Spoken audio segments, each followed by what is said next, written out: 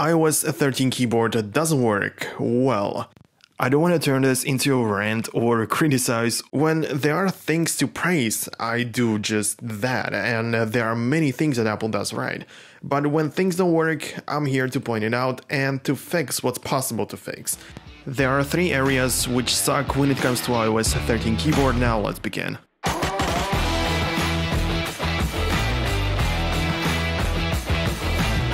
And the first thing which I don't like about it is that spell check doesn't work. When you turn this on, of course, you need to have that enabled at first. I don't mean this predictive feature which uh, appears on top of the keyboard, nor the autocorrect. Just imagine you're texting someone and see this. You have underlined words uh, that are obviously misspelled. So tapping the incorrectly spelled words gives you different options every time you click on it. Like it's so annoying to get the, the option to give you the suggestions for the words that you don't even know what to do. You just keep tapping on it. You have to go like three times until something eventually appears on the screen. And this, if that's not apparent enough, really sucks if you're texting someone or doing whatever else.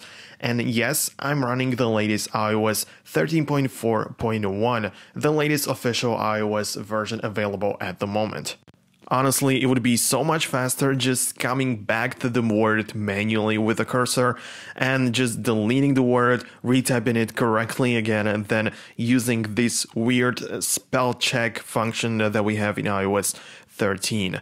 And it doesn't matter where exactly you are at the moment. I mean, if you're using notes or messages or pretty much anywhere else where you use the stock keyboard from iOS, which usually is very good. And I don't recommend you a lot of times to switch to any third party keyboard. But when it comes to this, if they got it fixed, I mean, it would be okay. But right now, it just kind of sucks, I guess. By the way, if you are new on the Apple Fox, make sure to subscribe so you don't miss the next videos in the future. I already work on a video where you get like the keyboard shortcuts and stuff where you can like pinch with three fingers to paste text and stuff. So in order not to miss it, make sure to subscribe and click on the bell. And you can also help other people by clicking on the like button. That way this video goes up on YouTube and more people can actually see it and see their options they have with the keyboard and what works and what doesn't work. But now let's continue with the video. Okay, so what can you do about it right now? Uh, not much at the moment, I would say. Uh, I would advise you to wait for the next iOS update, maybe even wait for uh, iOS 14. Uh, the WWDC 2020 has just been announced. It's coming close, so maybe you can wait for uh, that, but also you can switch from spell check to autocorrect. But you need to deal with the mistakes that it does. I mean, of course, it does a great job when it comes to correcting your words, and it's a lot faster than this not working spell check. The next option you have is also to switch to a third party keyboard, which is a good idea, but you have to like count with this that it doesn't have the good stuff from iOS keyboard, but yeah, you will probably never get the perfect one with all of the features you want. And a lot of times the stock iOS keyboard does most of the things that people want a keyboard to do, so that's why it's so popular and not many people actually switch to a third party one. The next thing you can do is to move the cursor to the end of the word and now these suggestions, the word suggestions should pop up on top of the word, which makes it a little bit faster. Okay, but looking aside from the spell check, the next thing I don't get why they removed is the magnifying glass that you used to have on the keyboard. Like, you know, when you grab the cursor, you have this little window, this little circle, which magnifies and enlarges the text so you know exactly where to put the cursor. It's very useful, or it used to be, in my opinion, and I don't just get it why Apple removed it. I know there are other supposedly new ways of moving the cursor around the text. Apple added the option to just grab it, it gets larger, of course, and to move it around. Your finger doesn't stand in the way and it doesn't block the view, which is nice, but I would still prefer the magnifying glass. At least give us the option, Apple. Like, it's already implemented to the iOS for a couple of years, so I don't see why you shouldn't give us the option to do so, I guess, but yeah, I, I think we'll have to deal with this.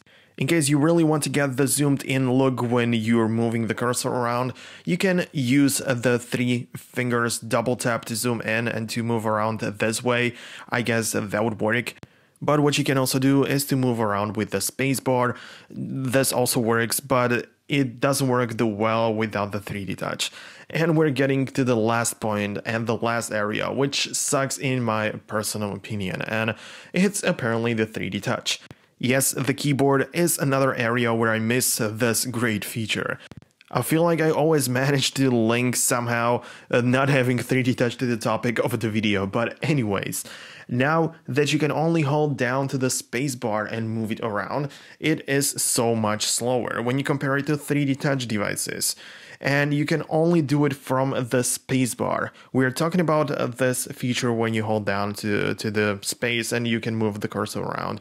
And on 3D Touch compatible devices, you can use any key you would want. So no matter if you use it in the middle of the keyboard or anywhere else, you can do it. Not only faster, but also from any area of the keyboard because there is a difference between long and firm press on 3D Touch devices. That is apparent. Now you cannot use it because long press also means that you get additional characters on top of the key that you hold down to, so it cannot do the same thing. And on spacebar, you don't really get a lot. If you are thinking about some third-party alternatives for your iOS keyboard, I would suggest taking a look at the Gboard from Google. That one is pretty good except for a couple of bugs that people had, but nonetheless, it's a great and solid keyboard app the next one you can take a look at is called SwiftKey, and uh, I know that you probably heard of this one before. I want to say that uh, this was mostly unique because of this swiping on the keyboard in order to type. But this feature has been brought over to iOS keyboard and I don't really think that SwiftKey is that useful anymore, but these are the most popular alternatives to iOS keyboard. So just take a look at it and perhaps let me know in the comments if you have like one of your best ones that you use currently. I'm really thrilled to, to see that and to try it out on my own. But now we're getting to the end of this video. In case you have any other thoughts on your mind, what you can do, just like all the time, is to let me know down below in the comments. What you can also do is to support me on Instagram by following and perhaps DM. I don't get that many questions at the moment right now, so chances are I will get back to you pretty soon. Now, thank you so much for watching. Hope you hope you're staying safe during this time and see you guys later in the next videos. Peace out guys.